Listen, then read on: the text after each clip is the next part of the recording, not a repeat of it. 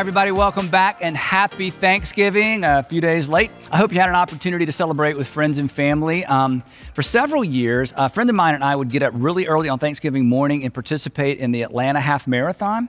Um, notice I didn't say run the Atlanta Half Marathon. Um, some years we ran the whole thing, but sometimes, sometimes we just participated. But as some of you know, the great thing about starting off Thanksgiving with a long run, it's guiltless eating all day long. Now, that was some years ago. These days, it's just guiltless eating all day long. Now, if you know anything about the history of Thanksgiving, uh, you know that it began as a small community's response and then actually a colonial response and eventually our nation's response to divine provision and divine protection.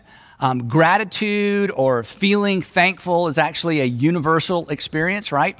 I mean, when good things happen or when we're on the backside of a rough stretch, there's just an instinctive, intuitive, automatic feeling of gratitude. Um, for some folks, it's thank goodness. Uh, for others of us, it's literally thank God, uh, but thank somebody or thank something, right? We're just all instinctively thankful, though we may express it in different ways. It's, it's almost like we can't help it. Now, I say it's almost like we can't help it because when it comes to expressing our gratitude, gratitude to each other, um, it's not always so intuitive, right? It's not always so fluid. It's not always so instinctive. Um, not only can we help it, oftentimes we do help it. Uh, we withhold our gratitude. And when you withhold gratitude, when I withhold gratitude, we actually create a gap in the relationship, um, an unfilled space there's unfinished business, which creates a glitch in the relationship. And if it goes on for too long, it actually undermines the integrity of the relationship. Or to put it bluntly, few things sting, isn't this true? Few things sting more than ingratitude. And here's why because ingratitude communicates, I don't see you. I don't even see you. I don't recognize you. I don't recognize what you've done. I don't recognize your effort. I don't recognize your sacrifice. Ingratitude communicates, you know what? You owed me that, so why would I thank you for that? Ingratitude stings because it isn't neutral. It's the opposite of what was expected or earned or perhaps even deserved. So it hurts, which is odd because the other person really didn't do anything to us, they just didn't do anything. Uh, you thought they would hit the tennis ball back, but they just stood there and let it bounce against the fence behind them.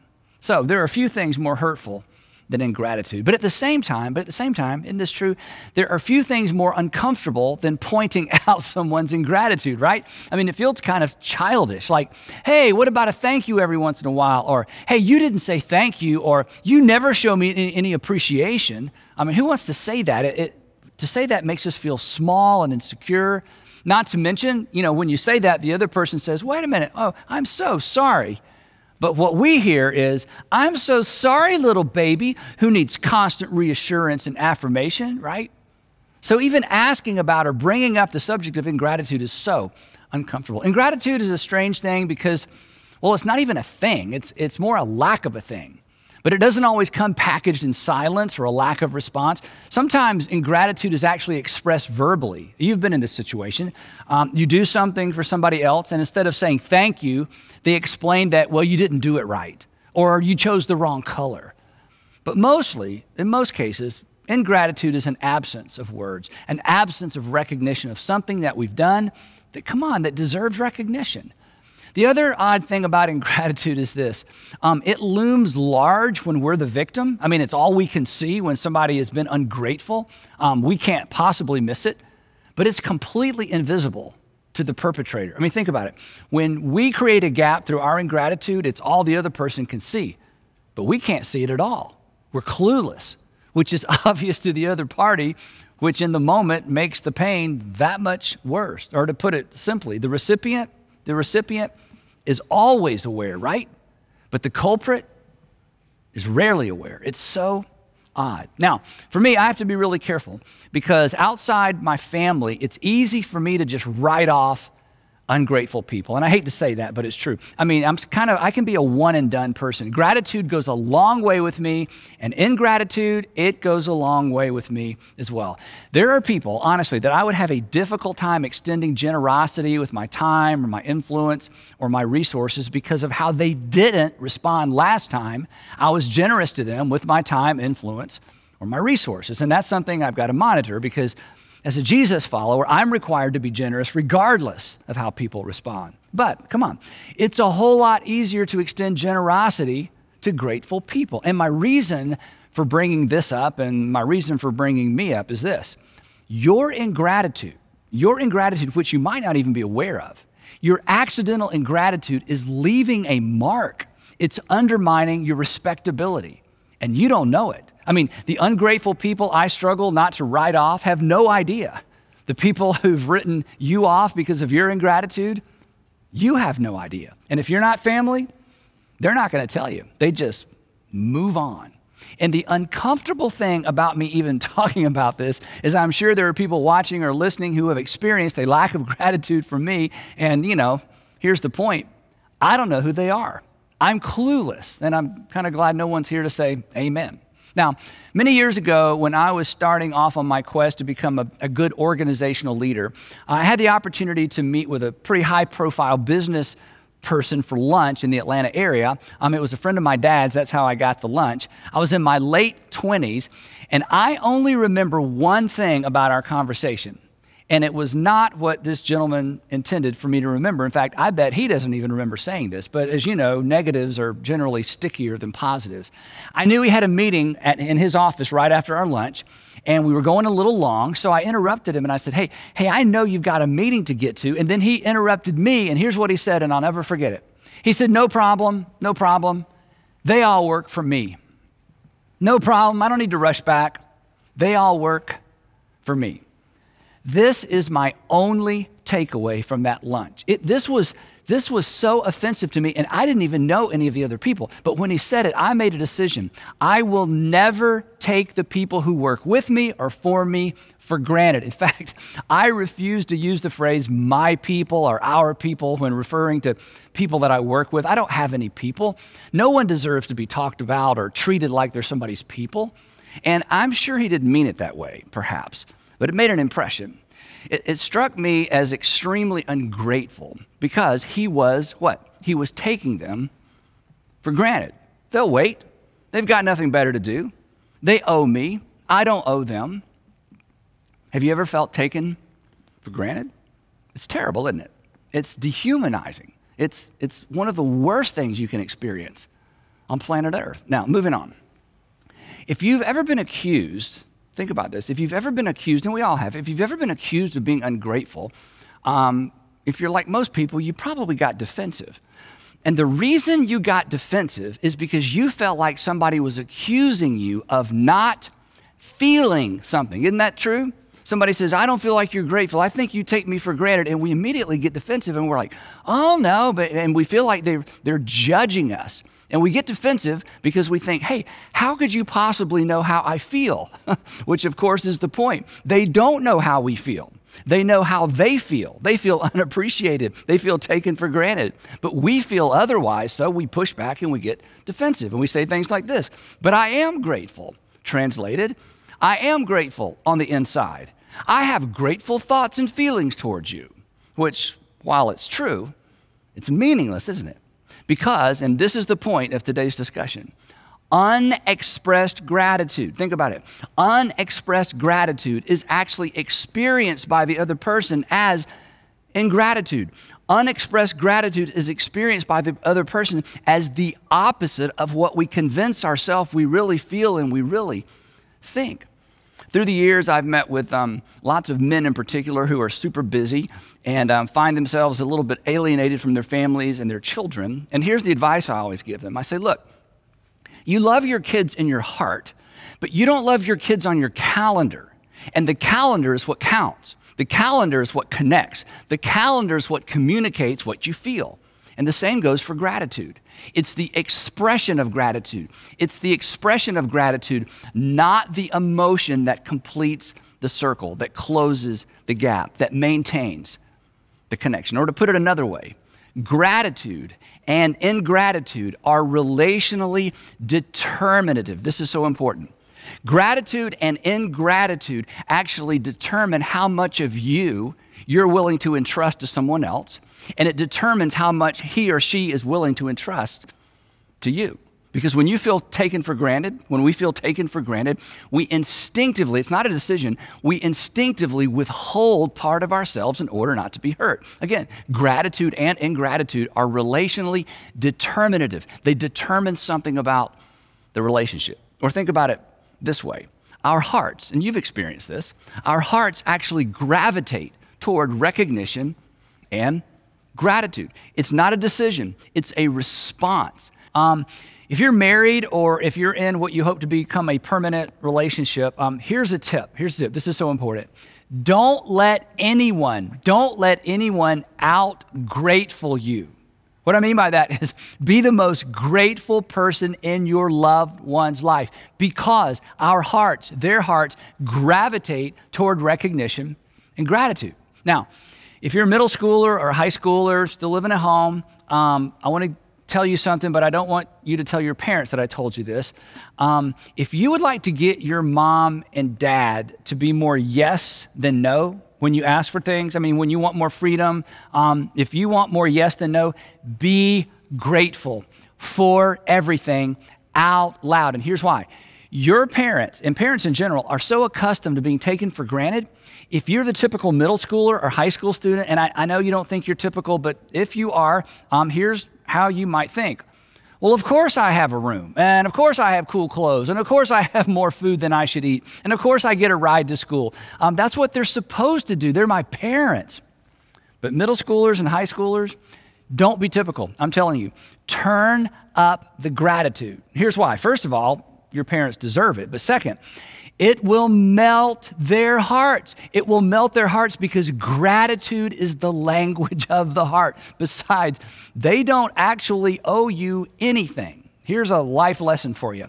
At the end of the day, everybody, everybody is a volunteer, even your parents. So be ridiculously grateful. Now, there's a famous narrative from the life of Jesus, and uh, we talked about this about five years ago if you were around then. And every, every time I read this narrative, honestly, it kind of feels like the gratitude bar gets raised a little bit. Um, I immediately think about the people I'm grateful for in my heart that haven't heard it from my lips or my pen. Now, Luke, who thoroughly investigated everything in the life of Jesus, begins this narrative like this. He says, Now Jesus was on his way to Jerusalem, and he traveled along the border between Samaria and Galilee. And if we had a map, I would show you this area. This is a very remote area, sparsely populated. It's kind of in the middle of nowhere. And as he was going, the text says, and as he was going into a village, 10 men who had leprosy met him. Um, people with leprosy, they basically hovered between life and death. They weren't dead, but they couldn't really live. And worse than that, imagine they stood at a distance and they watched everybody else live their lives. Um, as you know, in ancient times, leprosy was considered highly contagious. Uh, people afflicted with leprosy don't experience pain the, the way the rest of us do.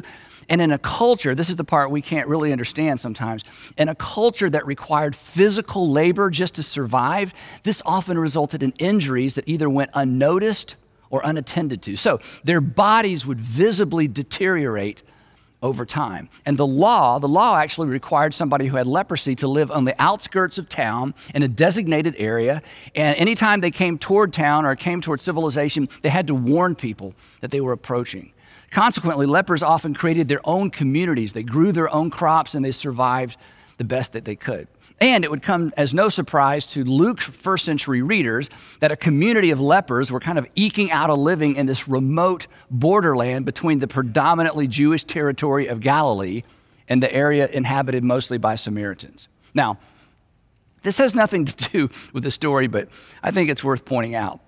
At the end of this account, we discover that this particular community of lepers was comprised of both Jews and Samaritans, two groups who normally would have nothing to do with each other for both political and religious reasons. But here's the thing pain, suffering, and alienation.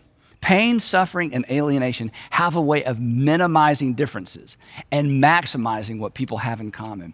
When people need each other, politics and religion, they are just not front burner issues. Just a thought. Anyway, Luke continues. He goes on he says this These lepers, the 10 lepers, they stood at a distance with their faces covered because they had to cover their faces, which Sounds familiar, right? They stood at a distance with their faces covered, and they called out in a loud voice from a distance, Jesus, Master, have pity on us. I mean, they're basically out in the middle of nowhere. He's in this little tiny village. They have apparently come into the edge of the village to get supplies. They recognize it's Jesus. They knew him by his reputation, and they call out Master, which was really unusual because this was a term pretty much reserved for those who were continuous followers of Jesus, his disciples, and clearly they were not. But desperate times call for desperate measures, and if he could do what people said he could do, he was their only hope. And the text says, Luke says that when Jesus saw them, when Jesus saw them, he shouted out, he shouted back to them, Go, go, which was not really what they were expecting. I mean, that's what they'd heard for years. Go is in go away. But here's what Jesus said Jesus said, Go and show yourselves to the priests which they must have thought, go and show them what? There's nothing to show, and besides, the priests aren't all that anxious to see us. In fact, nobody is. But Jesus had a triple intent here. According to the law, anyone with any kind of skin disease, after being quarantined, had to go to a local priest to be given the all clear before they could go back into society. Uh, the implication was by the time you get there, when Jesus said go, the implication was Jesus was saying, by the time you get there, when you go, um, when you see the priest, you're going to get the all clear. But there was even more to it than that. Imagine this when 10 healed lepers, when 10 healed lepers show up, the priest would certainly ask how all 10 of them were healed, and that would be an unprecedented event, and it would clearly be a miracle, which again would add to Jesus' reputation. It would be impossible to argue that something extraordinary hadn't happened. And here's the third thing their willingness to go before anything had changed would certainly be an expression of extraordinary faith in Jesus. And if nothing changed on the way, it would make fools of the lepers. So there was a lot at stake, and there was a lot behind this request to go. So if you're in their situation, what do you do in a situation like that? It reminds me of the advice that my great grandfather gave my father when my father was a teenager. He said this He said, Grandson, if God tells you to run your head through a brick wall, start running and trust God to make a hole. So Jesus said, Go, and they went, and not because it made any sense, but because Jesus told them to go. And you probably remember what happened next. And as they went, as they obeyed, as they went, they were cleansed. They literally walked by faith. This is a phrase we throw around a lot in the church and in Christianity to walk by faith. This is literally what it means to walk by faith. They responded to the promise and the prompting of Jesus before they knew the outcome. That's what it means to walk by faith. But then the twist in the story, and the reason we're even talking about this. One of them, one of these lepers, when he saw he was healed, he turned around and he came back.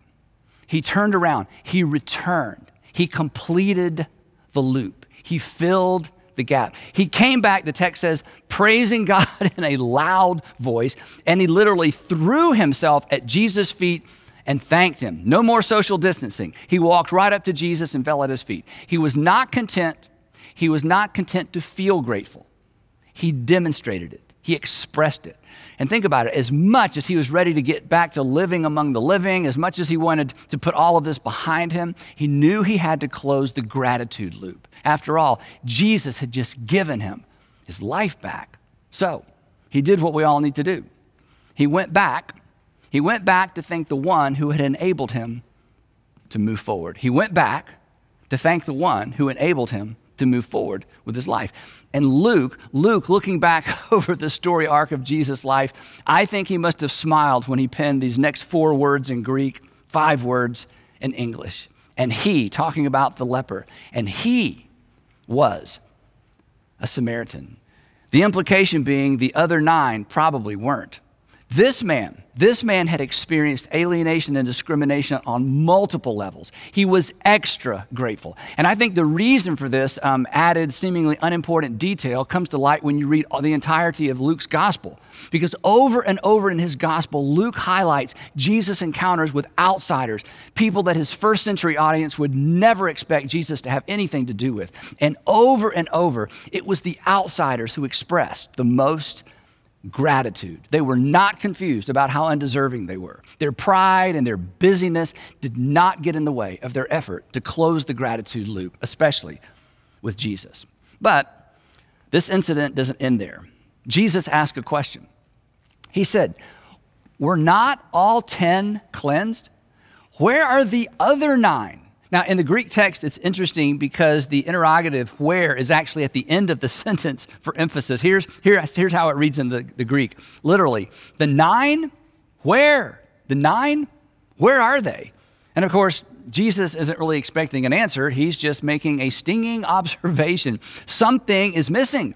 Uh, someone is missing. Some ones are missing. The other nine have missed the moment. The other nine have missed their opportunity something was missing, incomplete, unfinished, open ended. The circle isn't closed.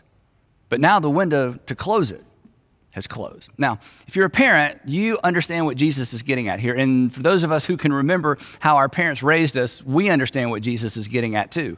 When you were a kid and somebody gave you a gift and one of your parents was standing there, they would immediately say what? They would say, say thank you, as in, right now, say thank you. There was urgency, like quick, say thank you right now. Time is running out. Close the circle, connect the dots. And this is Jesus' point. The other nine missed the moment, and the moment had passed. How ungrateful. Their, their entire destiny had been, been changed. Apart from Jesus, apart from his intervention, they're going to spend the rest of their lives eking out a living in the middle of nowhere They'd been restored to their families and their children. They could work again. They could worship again. And where are they? And when we read this story, isn't it true we respond the same way Jesus did? Yeah, yeah, where are those guys? But before we judge too harshly, I imagine, I imagine if someone had confronted the other nine about their apparent lack of ingratitude, their apparent lack of gratitude, I should say, I imagine they would have been quick to respond with, like, what? We're not ungrateful. We are so grateful. Our hearts are filled with gratitude. I mean, the other nine had to have felt it, right? But the problem is, like us sometimes, they didn't express it. And Jesus, like us, was baffled and he asked, Has no one returned? Has no one returned to give praise to God except this foreigner? Only one returner? And again, the question is a rebuke. And it also implies that the other lepers may have been Galileans like Jesus rather than Samaritans. Then he turns back to the one who returned and he says once again, Rise and go. And of course, this is the second time he's told him to go, but this time there would be no reason for him to return. The circle was complete. And then this final statement Your faith has made you well. So, as we wrap up, I want to make three quick observations to carry with us throughout this next week. Um, the first one we've already touched on that unexpressed gratitude, unexpressed gratitude communicates in gratitude. There is no neutral ground, and our feelings don't count because our feelings don't connect. Our feelings of gratitude don't close the loop. Worse, worse. The gratitude we feel, think about this, the gratitude we feel but don't express is felt by the other person as the opposite of what we're feeling. We feel grateful, they feel unappreciated, taken for granted. And, and this is important, telling other people how grateful we are for someone else doesn't count either. Even if that person overhears, hears us. And here's, here's why I say that. And if you're married, um, you know, there's a tendency to do this sometimes, right? Bragging on your spouse to other people in front of your spouse, but never bragging on your spouse to him or to her privately, never expressing gratitude directly to them, does not close the loop. In fact, in some cases, in some instances, expressing gratitude to other people about something rather than to that person can actually be insulting. Second thing is this ingratitude feels like rejection. Ingratitude feels like rejection. Over time, unexpressed gratitude has the same effect on people in a relationship as rejection. It, create, it creates a gap. Again, our hearts gravitate toward acceptance, real or imagined. Appreciation feels like acceptance. So if you want the heart of your child or your spouse or an employee or associates, if you want their heart, express gratitude. You want to be surrounded by people who just do what they have to do to get by? Withhold it take them for granted. Ah, they get a paycheck. It's, it's my husband. Ah, she's my wife. I mean, this is what they signed up for. This is what they're supposed to do. You may keep their hands, but you will never have their hearts. They may stick around, but the relationship will eventually be void of intimacy. Last observation is this unexpressed gratitude. Unexpressed gratitude may indicate an inflated view of self. And here's why I say that. The message of ingratitude is this I could have done this without you, so I don't really owe you anything. Isn't it true that arrogance and ingratitude are generally found under the same rock? I mean, arrogant people are generally ungrateful people, and ungrateful people usually come across as arrogant. So I want you to be really honest for just a moment. Is expressing your gratitude difficult for you? Is expressing gratitude difficult for you? Are you more comfortable pointing out how something could have been better rather than recognizing how good it actually is? If so, have you ever done any work digging around trying to figure out why you're kind of wired that way?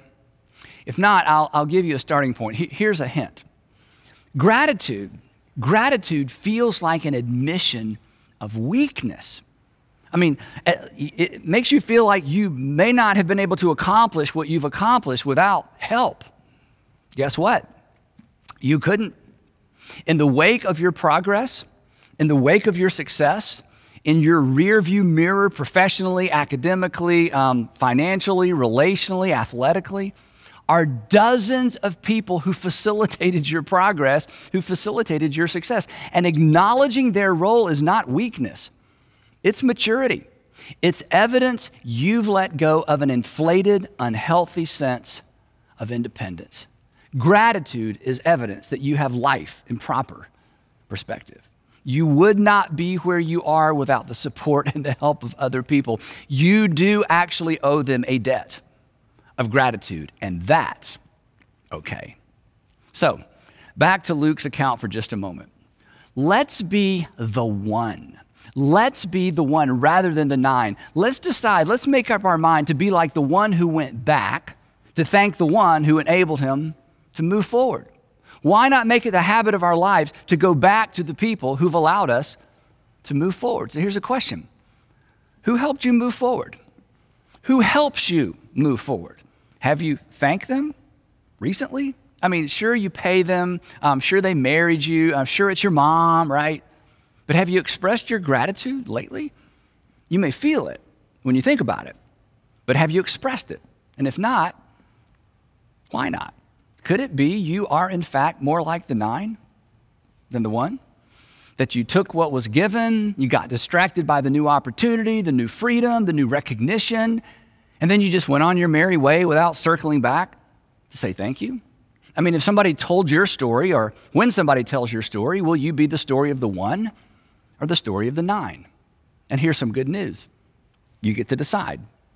But you decide that story, one expression of gratitude at a time. Gratitude that we feel but don't express is simply ingratitude by another name. So let's close the loop, right? Let's get in the habit of circling back. Let's be returners. Let's decide today to be the one. Now, as always, I have three questions that I would love for you to process with the folks you're watching with, or maybe by yourself. And the first question is this Who is the most grateful person you know? When you, when you hear a story like this, who comes to mind? Who is the most grateful person you know? Think about that. Then, question number two When have you felt most taken for granted? Which is just a horrible, horrible feeling. And what was said or not said that heightened that feeling? And how did you respond internally? And then, number three, to whom do you owe a verbal debt of gratitude? Who has or who is facilitating your progress or your success? I hope you'll spend a few minutes answering those questions. Now, you hear me say oftentimes that following Jesus will make your life better and make you better at life. And today's lesson from the life of Jesus certainly has the potential to make your life a lot better, to make all of our lives a lot better. But more importantly, today's lesson has the potential to make someone else's life better as well. It could be there is someone in your life right now that a simple expression of gratitude a simple expression of recognition could make all the difference in the world. So let's be the one. Let's close the loop. After all, we all have so much to be thankful for. I'd love to pray for us. Heavenly Father, in this season, we are reminded that we do have so much to be thankful for. But Father, I pray that in this season it will go beyond the stuff, it will go beyond the opportunities, would go beyond the blessings that we know we don't deserve. And Father, that you would give us a sense of who it is around us that needs to hear from us this week, perhaps needs to hear from us today. Give us the courage to break through our pride. Give us the courage to acknowledge those who've helped us. And then, Father, give us the wisdom to know how to express our gratitude in such a way that it connects, that it reconnects, and perhaps heals. And we ask all of this in the matchless name of Jesus, to whom we are so grateful. Amen.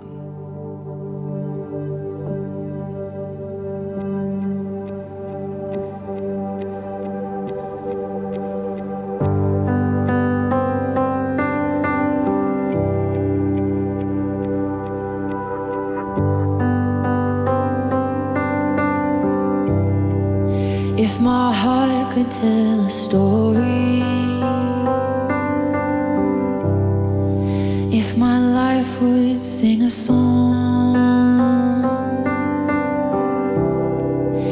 if I have a testimony,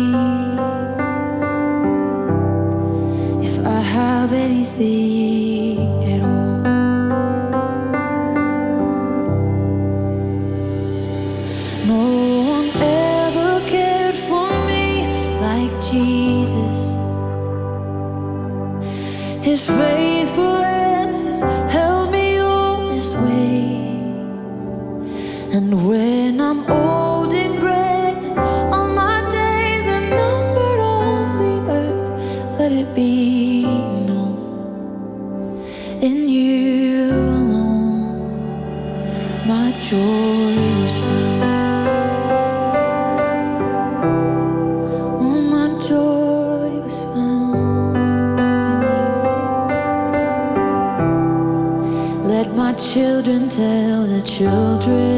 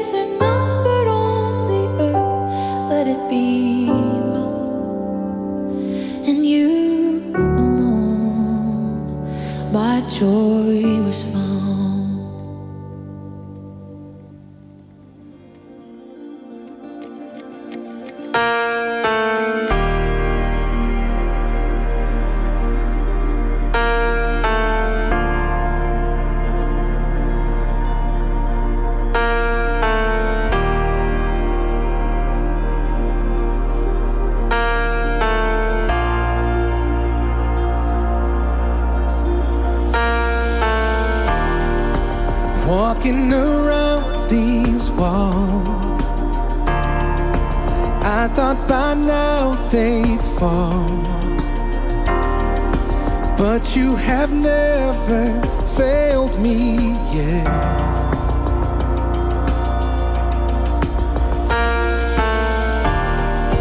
Waiting for change to come.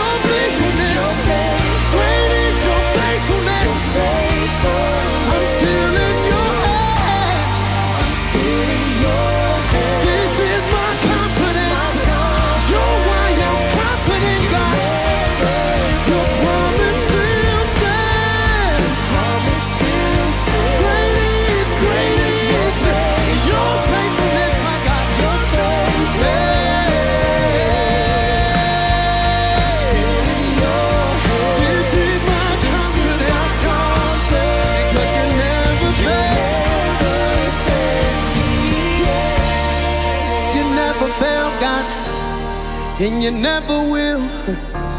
You never failed me, God, and you never will. That's why I'm confident, that's why I trust in Him. You never fail, you never will, God. Yeah.